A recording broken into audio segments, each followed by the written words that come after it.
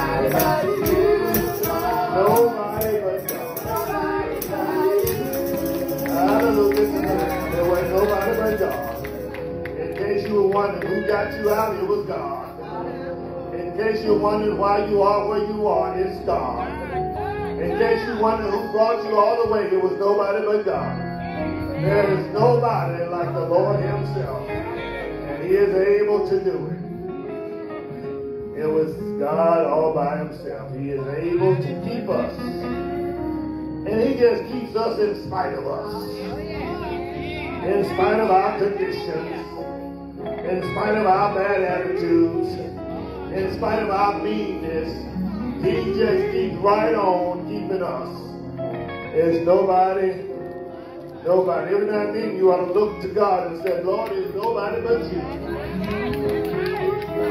My job couldn't do it because they let me run. Ah, nobody. Nobody. Nobody but God. Hallelujah. And call your attention to Romans chapter 12, verses 1 through 3. In the New Testament, the book is Romans chapter 12. The verses are 1 through 3. And I believe that God has something to say. Amen. Amen. Amen. Look like the praise team enjoyed what they did today. I like when they look like they enjoyed. Thank God they look like, they act like they enjoy singing unto the Lord. You know, you ought to give God all you have at any given time because you don't know when it's your last time. It is only because of God's amazing grace that we are where we are, we do what we do, and we handle things the way we handle them. Amen. It's the because of God's grace. Would you stand for me, Keith, if you would? Stand up for me. Let's look at Romans chapter 12, verses 1 through 3. I'm reading from the New King James Version. When you found it, you will discover these words. I beseech you, therefore, brethren, by the mercies of God, that you present your bodies a living sacrifice, holy, acceptable to God, which is your reasonable service. And do not be conformed to this world, but be transformed by the renewing of your mind, that you may prove what is that good and acceptable and perfect will of God. For I say, through the grace given to me, to everyone who is among you, not to think of himself more highly than he ought to think, but to think soberly, as God has dealt to each one a measure of faith. I want to talk about evidence of transformation. My focus today is verse number three. And my focus is verse number three, where we must all consider ourselves at the foot of Jesus. My focus is verse number three because we ought not consider ourselves uh, highly, more highly than we ought to. Because it's God who has given to every man a measure of faith. Evidence of transformation. Follow me to the courtroom scene. Where the judge calls the prosecutor up and say, who do you call to the witness stand? He calls your name or she calls your name, you take the witness stand. And the prosecutor began to question you. And he or she is probing you for evidence. You may have or you may not have been an eyewitness, but you have come and been called as well as subpoenaed to this courtroom scene because you are you are in possession of evidence. Evidence to a crime, evidence to situations, evidence to previous crimes that have taken place. Uh-huh. And so here you are on the witness stand. The prosecutor goes through to tear you apart. And after the prosecutor finishes his questioning or her questioning, then your defense attorney steps up. And he begins to question you along the same lines that the prosecutor has questioned you. And your defense attorney already knows that you are guilty, but it's his job, it is his job to prove that you have been set free. It is his job to prove that even though you're guilty, even though you have fallen short, even though you messed up, even though you messed up by omission or commission, it is the it is the defense attorney to plead your case on your behalf. I'm talking about evidence of, of transformation. And the defense attorney does not argue that you're guilty. He does not argue that you, you have not been guilty of what had whatever you've been accused of. The defense attorney does not argue whether or not you are guilty as charged, but he is there to present evidence of your transformation. In other words, in other, in other words, yeah, you're guilty. Yeah, you messed up. Yeah, you've fallen short. Yeah, you intentionally, recklessly did it, and you did it because you wanted to do it on your own. Hmm. But it is the job of my defense attorney to sit me on, on the witness stand and to make sure I present evidence so he can present further evidence that there has been transformation.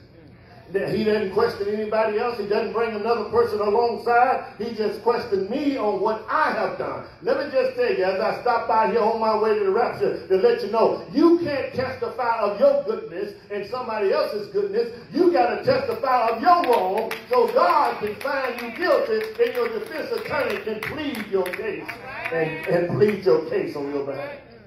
When we look at the text, we find the Apostle Paul writing, and when I read this text, some of you said, oh, I know this like the back of my hand. I, I, I can recite this one. As a matter of fact, I can recite it in the King James Version, and, and he's reading King, New King James Version. I just want to tell you that God speaks to me every time I read it and he speaks to me in a different way. And that's what God does when we are in a, in a mood and when we're in a particular place in, in our lives. God can speak to us while we're in that place. Yeah, when, when, when I was in the other place, he spoke to me through this word. And then he can use the same word and speak to you in this new place. Evidence of transformation. The word transformation means that you have taken on a change. It is like it is like the, the butterfly. He didn't start off as a butterfly. He has to go through some stuff. And when the butterfly goes through some things, it's not an easy going through. And he has to wrestle his way out. He, he has to move that cocoon. He, he, he shows up as an unattractive thing, and then he becomes beautiful with lots of beautiful colors. If you were to testify today, if you've been with, walking with the Lord just two minutes, if you've been walking with the Lord, your testimony ought to be, I'm not what I used to be. I'm not what I'm going to be. But thank God I am not what I used to be. Because God has a way of blessing us in spite of us, in spite of our condition and our meanness, in spite of all that we go through, God blesses us. We're not here today because we deserve to be here. We're not here today because we are so holy. We are not here today because we got up on our own this morning. We are here today because of God's amazing grace. His mercy in His grace has come our way. Because justice was pulling on our line this morning. Justice was pulling in our heart this morning. Justice was saying, You don't deserve to be here. And every time justice showed up, God shut justice down and gave us grace gave us mercy, gave us one more chance to get it right with him. So the Apostle Paul pens this letter, and he says to us, I beseech you, brother. He says, I beg of you, I, I urge you, I exhort you, I encourage you, I appeal to you, my brother. I, I ask of you, I beg of you, I appeal to you, I beseech you, my brother, I, I exhort you today, my brother, whatever you do, hear me. Apostle Paul, he begs. Apostle Paul struggles with mankind to just get it right with God. I come before you this morning to beg you, to appeal to you, to encourage you. I come this morning to, to urge you. He says, I beg of you, I urge of you, brethren, that you, by the mercies of God, he says, I am coming to you by God's compassion. You do know if it had not been for God's compassion, we would not be here. If it had not been for God's love toward us, we would not be here. And let me tell you, it's not because of who you are, not because where you go to church, it's not because of your church attendance, because if it was because of our church attendance, oh, we must be out of here. It's not because we've been so good. It's not because we have not struggled with stuff. It's only because of God's mercy, God's grace. It's because of God's compassion that we're here. It's not because of anything we've done. But this word mercy means is, is what God has already done. He did it for you over 2,000 years ago. He, he did it for you. He gave you compassion. By the mercies of God. God has given you mercy. God, God, the, the Theos God. God, God, the, the God who, who is the supreme being. God who is the creator himself. God, the divine one, has given us another chance. And when he gives us another chance, we ought to appreciate the chance.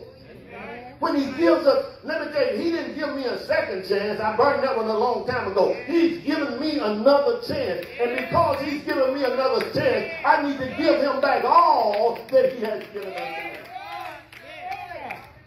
Folk get caught up. Folk get caught up. People get caught up on being holy.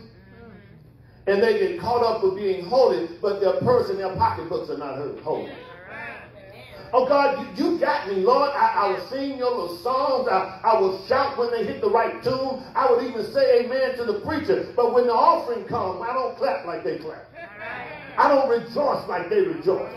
And God is looking forward to a cheerful giver. And let me tell you, I just stopped by to tell you that 10% is nothing compared to 90% that you get. It's nothing. It's nothing. It's nothing. It's nothing. And we trust leading people. We are calling ourselves leaders of people. Hmm. And we can't do just that little bit that God has asked us to do. We cut, we dart, we hide, we, we, we negotiate whether we do, do, the, do the, the net or the gross. Let me just ask you a question. Do you want a, a net blessing or a gross blessing? Uh-uh. Do you want favor from God on your net or on your gross? Uh-uh.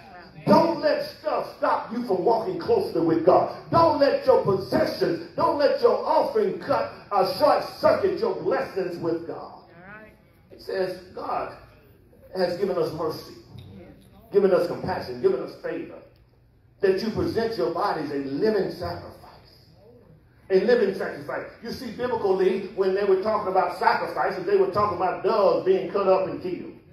They were talking about goats and bullocks and and they would talk about dying sacrifices. But since Jesus has come and given his life, we no longer have to realize or no longer have to come in contact with dead sacrifices because the fact of the matter is the ultimate sacrifice has already been given. His name is Jesus. So Paul invade, invites us. He invades our, our space. That's a word that we use now in this while I'm in this space. Meaning while I'm in this mindset, while I'm going through, and while I'm, I'm, I'm, rejoicing in what God is doing with me, while I'm in this space, God is saying, while we are in this space, God wants us to be living sacrifices. He wants you to keep on living. He, he wants you to live with power. He wants you to live with exuberance. He wants you to live with excitement. The word sacrifice simply means commitment. He wants your commitment. He wants your commi- commitment and worship.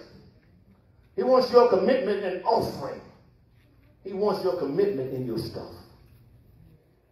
He wants you to be a living sacrifice. He wants you to keep living. He wants you to be a godly example. He wants you to be a godly example for other men to see and for children to follow.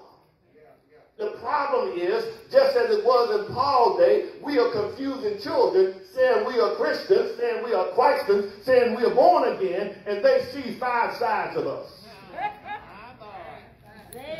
He, they see they see us one way on Sunday. They see us a different way on Monday. And then don't wait to Friday and Saturday to here. They show enough see us different. They see five different people in one. And let me just share with you. You're not five people, you're just one. And God wants you to be a living, holy example unto Him. He says it right here. He says a living sacrifice, a living commitment. And He goes on to explain it. He says holy. He wants you sacred. He wants you different. He wants you set apart. He wants you holy. And, and, and when He talks about you being different, the difference is not comparing yourself to anybody else. The difference is that you're different today than you were yesterday. It all not take six months. It all not take three months for you to be different. God is working on us. We ought to let him work on us. Jeremiah gives the example of a, of a, of a, of a, a lump of clay on a wheel. Jeremiah says that I'm nothing but the clay, and God is the clay handler. God, I am the vessel of clay. And Paul goes on to say that we are living epistles, living vessels for God to see and for God to work on us. You ought to be telling God in the midst of your trouble, work on me, Lord. Change my heart, change my mind, work on me, Lord. You ought to be giving it up for the Lord and, and allowing God to work on you because you've been trying to work on you. That's why during the invitation I say to people, don't wait till you get it right to come to the Lord. You need to make sure that you give it to the Lord and he can get it right for you. Twelve steps won't do it. You got to give it to the Lord. Five steps in a preacher won't do it. You got to give it to the Lord. Trying it on your own, talking about I'm going to beat it all by myself. You've already tried that 12 times and you have not been able to beat it. You need to give it to the Lord. People need to be like the Indian chief. Indian chief went to the revival one night. The first night he got there, the preacher preached the word of God, and he came down the aisle. He said, Me Indian chief. Me steady one no more. I'm going to give up my, my, my axe right now. I'm giving up my tomahawk right now. Me steady war no more. I didn't change. The next night in revival, the Indian chief came down the aisle.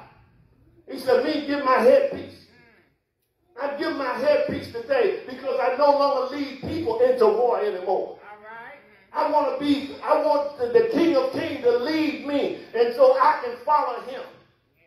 The third night of the revival, the Indian chief came down the aisle, took his whole self, his whole body, and laid it and prostrate on the altar. He said, Lord, I don't give my, my tomahawk anymore. I don't give my headpiece anymore. I give my whole self now. I give my whole self. We need to follow the example of the, of the chief and give our whole self to the God that we serve. He says we need to be holy. We need to be different. And don't compare yourself to anybody else. You know, we we in church, we, we, we good at comparing folk. When the wrong, wrong person walks in the room, that we deem the wrong person, the person walks in that, that have not had adequate shower, have not had a right haircut, have not had not dressed the right way, we can look down our nose at them. But let me tell you, if you can still look down your nose at them, your inner man is dressed just like they're dressed. Your inner self is messed up. We have to understand that if it had not been for the Lord, if it had not been for the Lord on our side, we would have been the same way. Every time I see a man walking down the street and he's shaking his head and looking up toward the sky and, and talking to himself, I said, there, if it had not been for God's amazing grace, there I would have gone. I remember a young man that grew up with us. We, we went boxing and, and we grew up together and he was a championship boxer. I mean, he was short and he was fast and he could throw hands. He, he's the one that created that song. Uh, don't try, you better try Jesus and not me because I throw hands. And every time I go home, I used to see him walking the street. He didn't really look like himself, but I could tell that he was the young man that used to box. So he was he was fast, he, he was quiet, and, and he could punch and punch. And he's walking down the street limping, talking to himself, chasing dogs. And you can tell he's out of his mind. And he was deemed to be number one coming out of the city. But he took a sniff of this a snort of that and lost his mind. It's, it's because if it had not been for God's amazing grace, this same boy that I, I fellowship with, this same boy that I sparred with, the same boy that I traveled with, he could have been me and I could have been him. But it's because of God's mercy and God's grace. And we don't know why God gives us another chance because he chooses to give other folk other chances and chooses not to give some folk other chances. But you don't know how many chances God has already given us. So we have to make sure that we position ourselves for God's favor. Yeah, right. Yeah. We, we want to be living examples, living, living epistles, living godly examples for young folk to follow where they can say, where they can say, well, I saw them do this. One thing growing up, the deacons at our church back home, I wanted to be like them. I, never wanted to be a preacher. I mean, I saw what the preachers went through. I saw the folk giving preachers hell. And I come to the conclusion I didn't want any part of that. I saw the pedestal that some people put the preachers on, and I didn't want to be any part of that. And then I saw some of the pedestals that the preachers put themselves on. I didn't want to be part of that. But I love the way that deacons served back home. They didn't complain, they served, and they taught young men how to serve, and they spent time with other people, and they looked for opportunities to serve. Those days, Brother Deacon Alfred, may be over now. So I always wanted to be, I wanted to be a deacon because I thought those deacons, they were living sacrifices and they were holy unto the Lord. From the eldest statesman to the youngest man.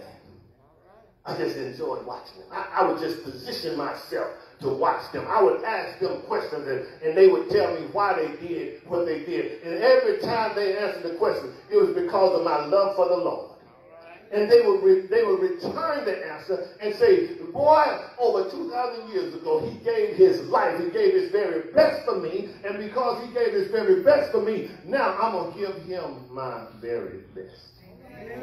He says, be holy, be different, be set apart, and be acceptable. This word acceptable means that, that you ought to be pleasing to God. Matter of fact, you ought to be well pleasing to God. He, he, he, closes this, this third verse out by talking about faith. And it is impossible to please God without faith. You know, all it takes is two drops of rain. It'll cancel the trip to church for 20, for, for 20 Christians.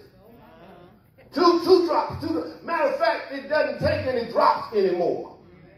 All it needs is a Thursday forecast. The Thursday cast says that it's going to drop. It's 20% chance of rain. Oh, it's 20% chance.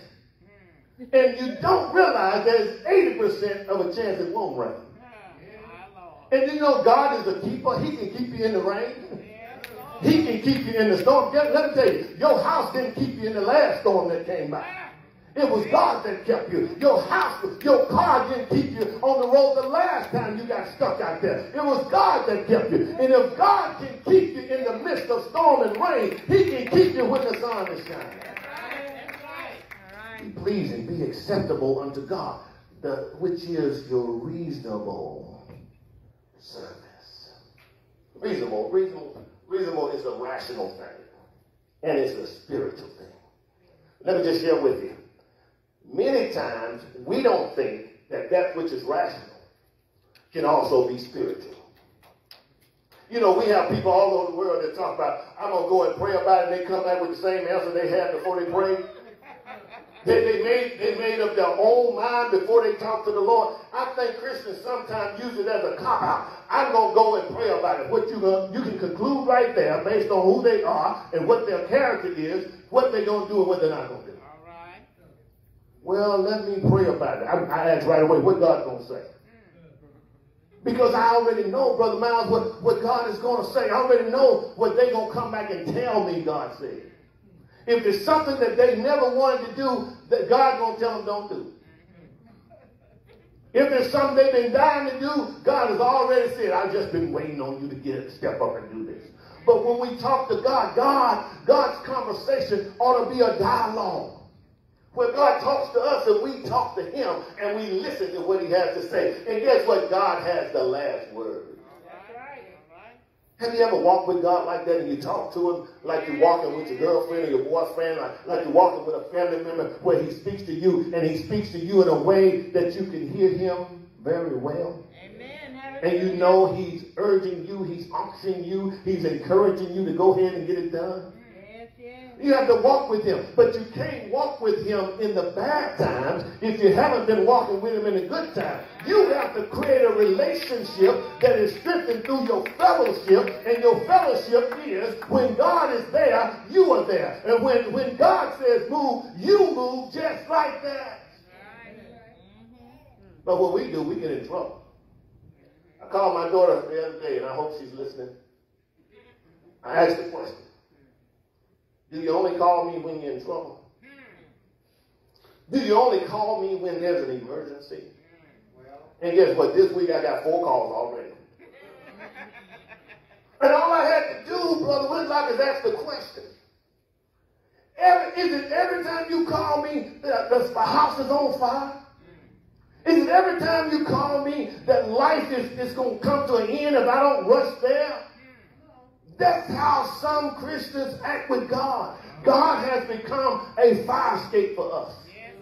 And because he's our fire escape, you don't use the fire escape until there's a fire. And so we call on God when there's a fire. I said to the group that comes to Sunday school, that um, to Bible study, brother, I said to them that we need to understand that God gives us 24 hours in a day. And if we're going to tie 10% of our time to God, we ought to spend at least two and a half hours with the Lord. Mm-hmm. Either doing some mission work for Him or spending quiet time along with Him or being about His business or praying and talking to Him or listening to Him. We ought to spend two and a half hours. I don't care what your job looks like. That's right. I don't care what the demands of your life are. We have to make sure that we have quality time alone with the Lord. The scriptures that I send out every every Monday, you ought to have quality time along with those little seven verses. Because God is good to us. Let me tell you, I, I know I'm the only one in the room excited about it, but I'm excited that God is good to us. And he's not just good to me. He is good to all of us. He blesses us. And we can't afford to sleep at the wheel on God. Uh, Us spend ourselves up and make it a reasonable service. It ought to be reasonable, acceptable. Which is your reasonable service? Reasonable, reasonable service means that, that, that it is practical, it is spiritual, and it is rational. And let me tell you, God is not a mystical God. Well, you got to hear stuff clanging in the background. God is not a mystical God until you gotta you gotta make sure you go into some seance and talk to him in another language. The God we serve understands you very well. If you speak English, you can pray in English. And you will get a prayer through to God. If you speak Spanish, you can pray in Spanish. And, and you can get a prayer through to God. If you're bilingual, you can pray in any language and, and he, you can get it through to God. Because God knows all and he sees all. That's why he is God. Wow, what a God we serve. And then he says, verse number two, do not be conformed to this world, but be transformed by the renewing of your mind. He says, don't take on the shape. Don't take on the figure. Don't take on the attitude of things of this world. Don't be like the world. Don't be like those who are not saved.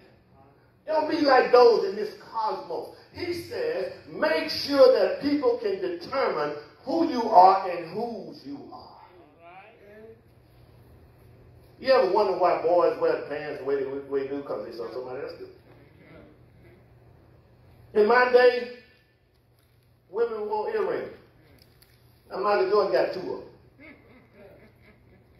Do we do it because professionals do it? Do we do it because entertainers do it? Do we do it because rappers do it? Do we do it because the ballers and the shot callers do it? Let me tell you, make your own apparel and put your name in it and sell it for millions. Sell it for millions. Make sure that you make money and stop making other folk rich. We have to teach our young people how to think on their own. There's a bunch of stuff out there that has not been discovered yet. That God is waiting on a young person just to put their mind to it to make it happen. All right, all right. Be reasonable. He says, be not conformed. Don't take on the shape. Don't, don't take on the image. Don't, don't take on this, this form that the world has but you be transformed by the renewing of your mind. Be, be renewed, be, be, be changed, be transformed. You need to be changed, transformed morally and spiritually. Be changed in your character. Be transfigured. Be different. You can't afford to compare yourself to anybody else because they're worse than you are. There's no bragging rights in you comparing yourself to somebody else. Isaiah found that out. Isaiah said it was in the year that King Uzziah died that I also saw the Lord. And I saw him like never before. I saw him high and lifted up. His train filled the temple and the doorpost shook and moved. And when the doorpost shook and moved, I saw his train fill the temple. The glory of God was all in the room. And he says, Oh Lord, who am I? I'm, I'm undone. He says, First of all, I'm messed up. And then he looked around at the folk around him, his people, his, his hanging buddies, and he says, Not only am I messed up, Lord, they messed up too. You see, if I was to compare myself to you, I have the tendency to say, I'm all right. But we can't compare ourselves to each other. We must compare ourselves to God. And if we compare ourselves to God, then we will never catch up. We will never be totally complete unless God steps in on our behalf. So be be transformed, be about a renewing. Renewing. It means to be new again. Of your mind, your apprehension, your your communication, your understanding, your mind. Make, make sure that you got a different understanding. Have you ever tried to talk to somebody with bad understanding? Don't point, don't, don't look around. Have you ever tried to just get something through to somebody with bad understanding? I mean, their, their, their understanding is just bad. I mean, there's no way you can get through to them.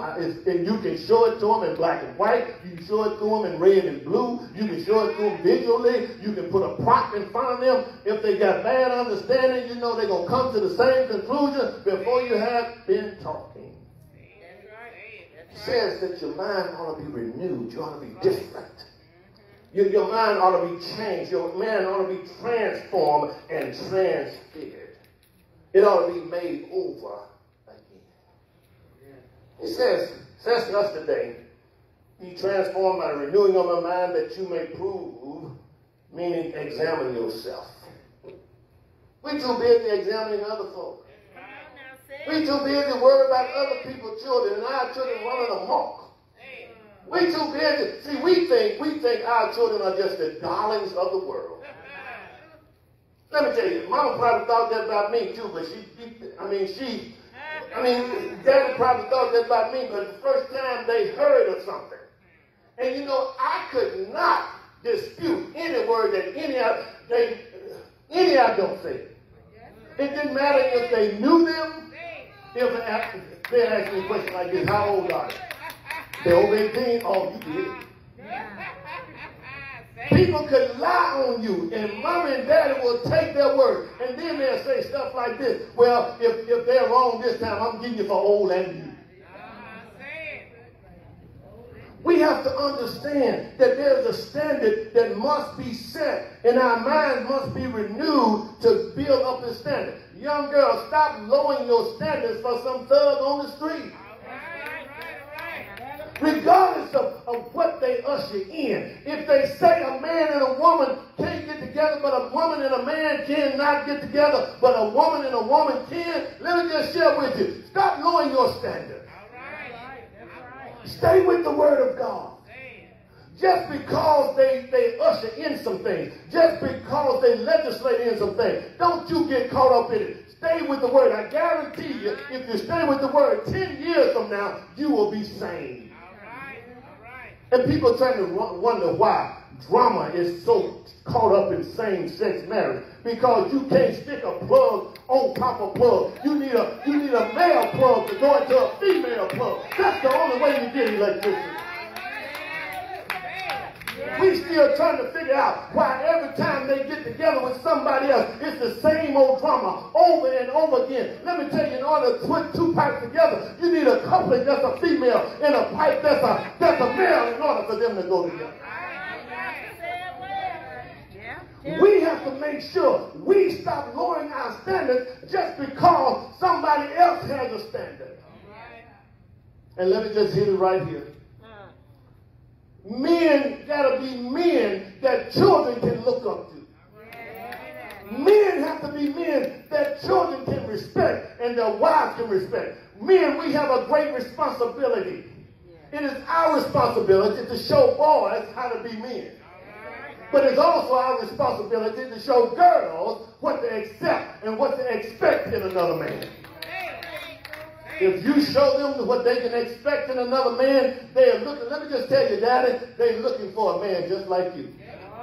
If you walking around here studying, they're looking for a thug. And no sense in you crying later on, they going to get what you present. All right. All right. All right. Yeah. And I just hope, I just hope that I'm presenting something to my children that God will be pleased with, which God will be an example in the midst of them. And if they go shady, they going shady on their own or because of their environment. God is looking for women that will take care of their households. Women who will be, be humble and be of sound mind. Women were not made to be doormats. I think I said it again. Women were not made to be doormats. That's right. Walk on I think I said it one more time. Right. Women were not made to be doormats, and they're not made to be slaves. All right. All right. There is nothing like a woman with a sweet spirit. Yes, Lord. The Bible teaches that she ought to have a, a sweet savor that fills the room, and other folk can see her sweet spirit when she walks in the room. Now, Women, yes, the Bible says the guy ought to sit in the corner of the rooftop Uh-huh. and in the house with a contentious woman. Yes. See, God has this thing figured out. And see, men, we can't quote Ephesians chapter 5, verse 25, talking about I'm the head and you have to submit unto me because you got to go back to verses 21 and 22 where it says submit one to the other in the fear of the Lord. Yes, that's right. Hmm. I think I have more Purex on my hands on washing dishes than Sister Davis will ever have. I just thought I'd throw that in there, Sister. My hands don't get a chance to get smooth. And it's not hard because I'm working hard. It's because I got Purex and Dawn on it. All right. It's because if you're going to make it together, young man and young woman, you're going to have to walk together, be on one accord, and then stop talking about this is mine and this is yours. Ain't none of it yours. It all belongs to God. And God has made you stewards to make sure that you walk down the road together. Yes, Hallelujah. Okay, you're tired of me now, so. But you have to renew your mind. Yeah. Prove, have, uh, prove, and show yourself an example. What is good and acceptable and complete or perfect will of the Lord? All right. God wants you to be complete in Him. He wants you to be whole in Him. You think that you need a man, a boy, a girl to be whole, but in order for you to be whole, you need Jesus. All right. That's Stop, stop telling folks stop asking folks, do, do you have this? Or do you have a house? Do you have a car? You need to be whole. Do you have a man? Do you have a child? None of that makes you whole. Those things fulfill you to a certain degree. The only thing that makes you whole is Jesus. You can ask the woman at the well. The woman at the well, she had six men in her background. And Jesus said, the joker you got at home doesn't even belong to you. And the Bible says that Jesus told her all about herself. In other words, he, he told her he was all in her Kool-Aid. He told her all about herself, and she left. She was only fulfilled when she met Jesus, and Jesus delivered her. So stop putting your hope in stuff. And stop letting stuff sidetrack you. And stop letting folks disappoint you. And see, people will always tell you what you need and what you ought to have. And when you look at them, they're worse off than you are. Women around here listen to other girls that ain't got, don't have a man. Say, girl, I wouldn't put up with that. Well, I know you wouldn't, but you not me. Guys talking about, man, man, she using you. She doesn't need you. Well, I've been used the last 23 years really good. And don't have a problem with it, Brother Miles. It's all right. It's all right. Because when I leave here, I want God to say, servant, well done. My good and faithful servant. All this stuff here, I'm going to leave it here. And when I get to heaven, I'm not going to even have a wife anyway. I won't need a wife simply because I'm going to shine with the shining of the Lord when I get on the other side. Every day will be hallelujah. Every day will be hallelujah. Every day will be Sunday. Hallelujah to the Lamb. Thank God. I just got to play my role down here so when I get on the other side, I can rejoice. Brothers, play your role well. Sister, play your role well. He says, For I say unto you, through the grace given to you, through the grace given to me, to everyone, I'm saying to everyone among you, think not himself more highly than you ought to think. He says, whatever you do, make sure you don't think you somebody that you're not. All right, all right. Let me, let me tell you how stupid I was growing up as a teenager. I, I, I was stupid, uneducated, in college, uneducated with the world. See, we grew up in church, so the things of the world we didn't know. William Clark had a had a, a 1980 Ford, all white, white, white all the way on the inside, white on the ins, outside, and, and then during that season we had extra white walls on. We were in college and, and, and we would ride down through the city. And we would play that song when we come down through the city. I want to ride, ride the white horse. Now here we are. We, we are church boys. Sister Davis, we were in church. We were in Sunday school. And we riding down through the middle of town on Gary Road, that long road that stretches through the middle of town. And playing this song, I want to ride, I want to ride the white horse. We think we, we, we are jamming because we're riding in a white car. We were full grown and on our own before we realized that the white horse was cocaine. And we we playing this song right now through town talking about I want to ride. And then when people hear us coming, they already know who we are. And they hear us coming, they start dancing on the sidewalk. Now the folk out there know what's going on. There's the folk in here that didn't know what was going on. That's how it is with church boys and church girls. We have no business conforming to the things of this world because we it just won't fit us. It, it just won't. We can get out there, we get sucked up. We can get out there and they, they create a disaster for us. I mean, when you get out there and you're a church person, man, I learned some stuff when I came to Houston. I was like, good God Almighty, I better run back to the church house because I can't survive out here. You can't survive. If you're growing up in church, you can't survive in this world. He says, don't think yourself more highly than you ought to think. He said, don't think, even there, some people, they get a dime more than a dollar. And you can't tell them anything. And don't let them get a little education. they get some education. They want to come back home and tell mama, daddy, and, and big mama all they doing wrong because now, now it was good enough to raise them with no money. It was good enough to send them to school with not anything. They, they went to school on prayer and fasting, but now you're going to come back and tell me where I'm wrong, what I can't do wrong, and what I'm doing right, and what I'm not doing right. Let me just share something with you. You need to understand you think more highly of yourself than God does. This word, this word, this word highly means that, that you're overly proud of yourself. You're overly. You just you're just so proud of yourself. You're just so overly proud. You think you and don't don't let a woman get a new dress. All right. Well, she got she gonna wear it six months.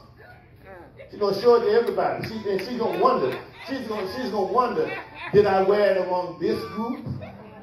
Or did I wear it among this group? And then, then she looked around and said, well, I can't wear this on Sunday because somebody was there on Saturday that was going to be at church on Sunday, so I can't wear it there. Let me just share with you. Don't think yourself more highly than you ought to. And matter of fact, folks are watching you anyway. People don't know what you had on last night at the club because they was boozed up just like you were. Just drag yourself in here after you get out of the club. Come on in here and give your praises unto the Lord and turn it over to Jesus. Says, think, you think folk watching you. People have left churches because they, they think people watching them. My, my nephew back home, God bless him, poor boy. I told him he needed to go to Brown Baptist Church. He lived right around the corner from him. And uh, his answer to me was, well, you know, I can't go over there. They booze you over there. And I can't go over there because they're going to be laughing at my car when I drive up. I said to him, you shouldn't put $20,000 in an old regular car anyway. You know how boys get those regular cars and they put all their money into it, fix it up, and then it's still breaking down? I said, I said, you, you didn't do God's resources well. You misuse God's resources. I remember when he took Dad and I to Greenville, Mississippi. We we looking at the car. He gonna go get this battery car. I mean, the wires pulled out the dashboard. I mean, the, the, the vents don't even get, don't even have vents. You got big old holes in the wall. No speaker missing. He want Daddy to invest in that. And Dad's man, take me home. So his excuse for not going to church is that when I go to church, people are going to be laughing at me over there. I said, now, you made a dumb decision to buy a car like that, and people ain't going to laugh at you because when you drive up, the boys and the girls going to be oohing and ahhing. But what matters is, is that you get to hear the word of the Lord. And people have left churches talking about they looked at me the wrong way. Or the preacher didn't speak to me today. Now he's only one preacher. He's standing in one place. He can only speak to people who come by. You think he needs to go down the row and speak to every single person in the room? No, that can't happen. The fact of the matter is you're looking for an excuse to tell the Lord, and I've come to the conclusion, if it's good enough for you and the Lord, it's good enough for me. If you can go before the Lord with that, if you can prove that to the Lord, if the Lord can accept, it says good and acceptable gift unto the Lord. If you can prove that the Lord ordains that kind of stupidity, then it's all right with me. All right, all right. We have to get to a point where we understand that we are here for the Lord and not ourselves. So don't think yourself so highly that folk are watching you. Well, I can't wear this wig this Sunday. I wore it last first time. And I, I got to have a whole row of makeup because because this goes better with this dress and this foolishness. Women ought to take a, a, a, a note out of the men's book. A black suit, Yeah. brown suit, gray suit, blue suit, and then a beige suit. And then if I wear the same suit next Sunday, I just make sure I take it to the cleaners. And when I let, and when you see it, let me just tell you right now, when you see this jacket next time, it'll have some black pants on it. It's because we can't get caught up on stuff to prove ourselves to people. How you know? How you know, preacher? I'm trying to prove something to somebody else. Let me ask you this: When you wasn't going to work every day, and you were zooming in, or you were you were micro teams in, or you a video calling or audio calling, what did you have on? What, what, what did you, what, what did you, what, one, one company said this, this day, this day, I want you to wear whatever you had on when you were zooming, wear to, wear to work tomorrow. You all have seen some of the stuff. It says to me, I don't know if you think that, that far along, it says to me, I've been dressing up every week for somebody else. I've been buying something every week for somebody else. And because I'm not in their presence, I can just put on a, a button-down shirt and everything else can be where I, I, I wear it. But you got to stop thinking people are watching you. People don't even care. They don't even have time. Things are moving so fast now, they don't care what's going on with you. Matter of fact, they got lot, their lives in a bind, and they trying to get their lives out of bind. They don't have time to watch and see what your lives look like.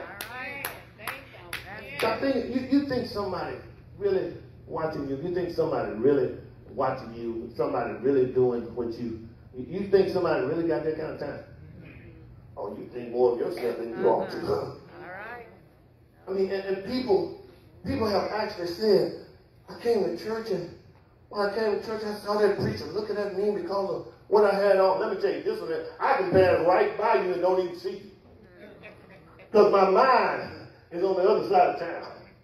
And, and, I'm, and I'm guilty. I can walk right past you, and when I'm walking, I'm moving. And there's no sense in Sister Nicole Davis calling me saying, You didn't even speak to me today. I said, I, I I'm guilty. Because I don't have you on my mind. I mean, I, I hate to bust your sanctified bubble. I just, I really, I really didn't have you on my mind. I, I looked at, she said, well, you looked me dead. Now, she didn't say this, okay? You looked me dead in my face and you just walked on past me. Yeah, but I didn't look at you. I looked through you. And it's, it's only because that we are not that important. The only person we are important to is God himself. We're important to God. God is concerned about our grades in school. God is concerned about how we treat each other. God is concerned about how we govern ourselves from day to day. And he has dealt unto every person a measure of faith. He says, be sober. Be of sound mind. Be sober. Don't be controlled by stuff. Be sober. A lot of marriages are broken up because somebody, one or the other, come home and they're not sober. And when you're not sober, you make crazy decisions. When you're not sober, you're not of a sound mind. And when you're not sober, you're not calm. Are you with me? Practice being calm. Practice calming down. I don't care what you use. You can count to 10 or you can take a breath, whatever you use, but I recommend Jesus walk closer with him and you can carry yourself like he carried himself. Deal, deal with Jesus and actually deal with Jesus. Jesus deals with you. And let me tell you, you can cut somebody up and never raise your voice. You can set them straight without even going off. All right. And everybody in the room said, wow, Zorro just walked through here. And you can you can tell them off and they don't even feel bad about it. But you have to have a calm spirit. You can't be elevated on everything you correct people on. He says, be sober. He says that, that God has given to every man a measure of faith. Why would he say this in this pericope? He says God has given you a, a measure of faith. God has given you what it need, what you need to do all these things I mentioned to you. But you got to walk in faith with God. You got to walk with God. You, you have to walk with God. Life will always throw you a curveball, a slider. Life will always give you a raw deal. We will make decisions that we will regret. There's no sense in, in just laboring on it. Don't let your present ambush your future. All right, all right. Don't let it. Don't let your present. So what? You had a divorce. Move on. So what? You made a bad call. Move on. So what? You made an F. Man, when I made my first F in the eighth grade, I thought the world was coming to an end. I was used to taking my stuff home, mama looking at it and rejoicing, and, and my daddy looking at it and said, good boy. I was just so used. And Miss Crickler gave me a F. She gave me an F. She, she shocked my world. Sister Carter, I mean, I mean, that's, I mean, I went from an A, A, A, A, A, A, B, F. And I went in her office. Went in her room. I said, did you forget to pull the line out on the right side? What, what's happening? What's going on here? And it wasn't a final grade. I was just, I mean, a weekly grade. It blew my mind.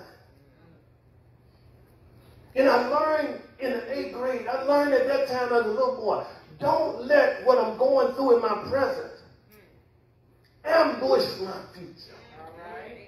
Because whatever we're going through in the present, we have to have faith in God. And God is able to, to blow our future out of the water. He's able to amaze us.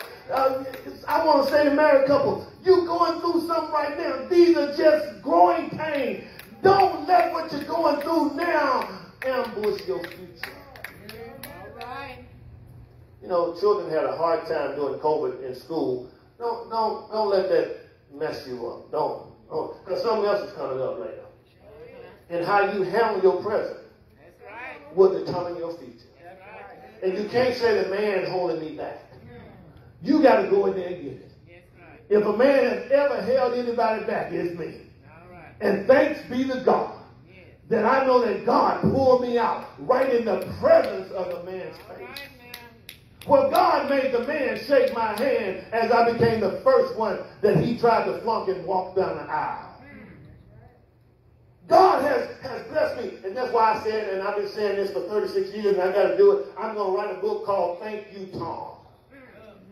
Because it was Tom Patterson in, in 1984 that rejected me from a job because of the color of my skin and he pushed me in out of Mississippi into Texas. I came out here on a two weeks vacation, Sister Darrington. And It has been 36 years. All right, all right. And, and because he allowed three other guys to have the job that I was the only one in the whole plant qualified for, he let three other guys have three jobs that came available at the same time. And I asked him, I said, Mr. Tom Patterson, why wasn't I considered for one of those jobs? He said to me, all 385 pounds of him leaned across his desk, looked me in my eyes and said to me, I hire who I want to, and I put him where I want to be. I said, Mr. Tom Patterson, thank you, sir. I went back down. I canceled my vacation from 1984 and carried it over to 1985. January of 1985, I made that 600 mile trip to Houston, Texas, and never looked back. If it had not been for Tom Patterson, I wouldn't even be here. It had not been for my troubles, I wouldn't have been here. I thank God for Jesus. He went through the trouble for me over 2,000 years ago. Yeah, they took my Lord and your God. They hung him high. They stretched him wide. He died on Calvary. They put him in a borrowed tomb. Out of that Thursday morning, he showed us how to be a champion. He rose from the dead with all power. With all power, heaven and earth, he rose from the dead. So, so make sure you pattern yourself after Jesus. That's right. He's the champion. Yeah, right. Stop comparing yourself to your buddies and those your haters. Pattern yourself after Jesus. They thought they had him. They killed him. Oh. But he rose from the dead. The door of the church is open. The invitation is extended. God has offered us evidence of transformation. You can be changed today. You can be delivered today. You can be anointed today. The door is open. Will you come? Come just as you are. The door is open. Will you come? Let him in today. Let him in.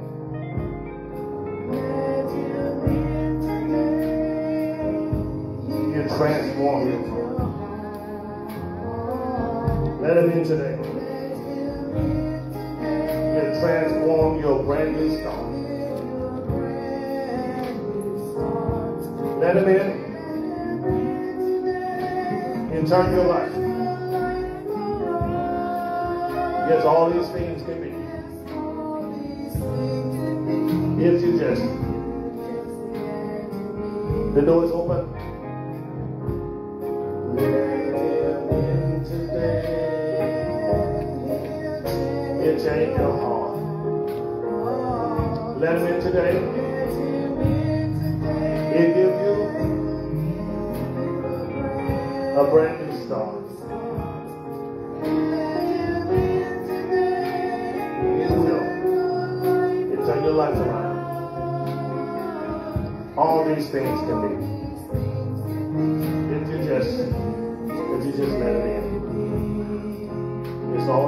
Things can be. If you, if you never received Jesus Christ as your personal Savior, this is your moment. Will you just bow your head with me and invite Him in, believing that Jesus died and rose again? Repeat after me Lord Jesus, I believe that you are the Son of God. I believe that you died for my sins. I believe that you rose from the dead. Now come into my life and make me a new person. Thank you for saving my soul. In Jesus' name I pray. Amen and thank God. If you want to join the New Beginning Church, you can do so. If you're listening live, you can do so by inboxing us and letting us know you want to join and become a member of the New Beginning Church. We're glad to welcome you. We're glad to, to be a sister and brother to you in Christ. If you've received Jesus Christ during this broadcast, please inbox us and let us know. We'll be glad. We'll be glad to welcome you to the family of faith. Thank you so much for joining us. Thank you for being a part of our service.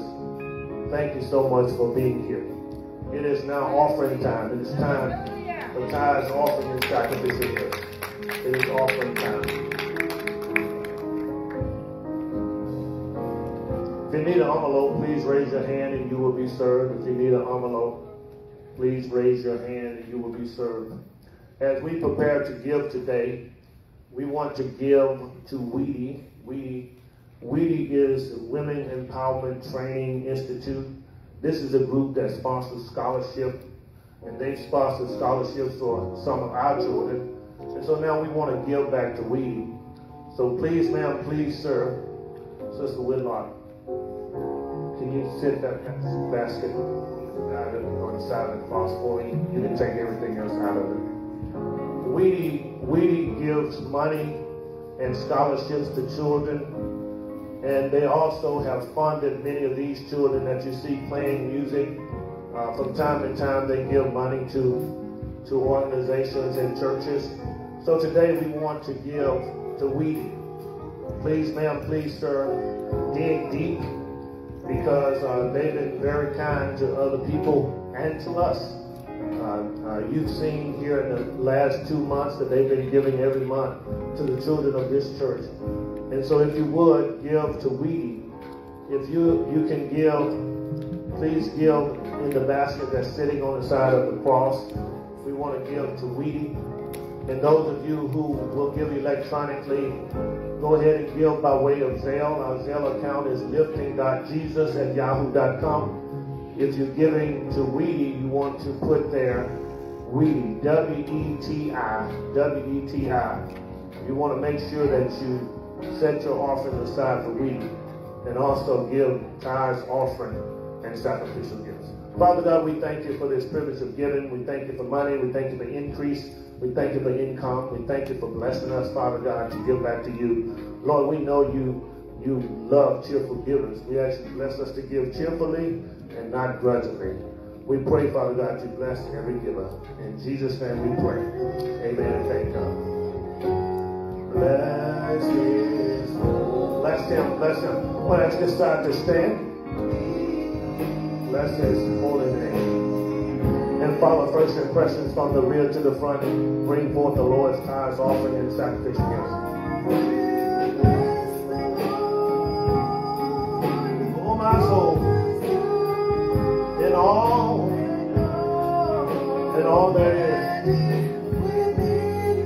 Bless him, bless him, bless him. Bless him, bless him, bless him. Bless his holy, his holy name. Well, it's this time to stand. Follow first impression from the rear to the front. Bring forward the Lord's tithe, offering, and sacrificial gifts.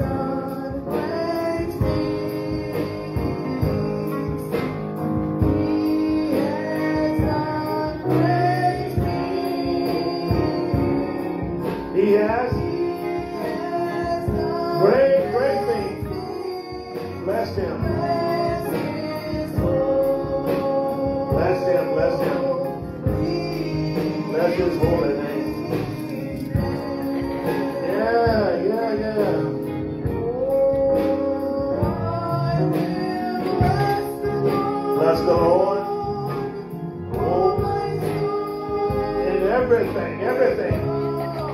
everything that is within you. Bless him.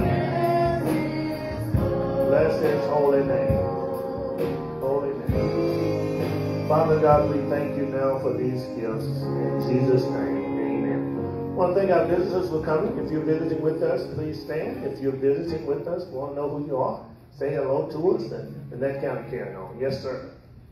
How y'all doing? Amen. Sister, Sister uh, DeWayman, say hello to us, please. Amen. Thank you so much for joining us today. Thank you for being being a part of our service. Please fill out our, our visitor's card. I want to talk to you about your experience here today. Thank you. Thank you so much. Thank you so much. Our prayer list is listed here today. We want to lift these people in prayer.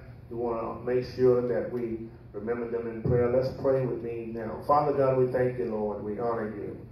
God, we praise you. Thank you for who you are. We have a list of prayer for prayer, Father God. We ask you to bless them. Heal those who are suffering from illness. Heal those that are confused in mind. Heal those who are bereaved. Lord, strengthen their physical, their mental, and their spiritual lives. Bless them, Father God, that they will walk with you and honor you.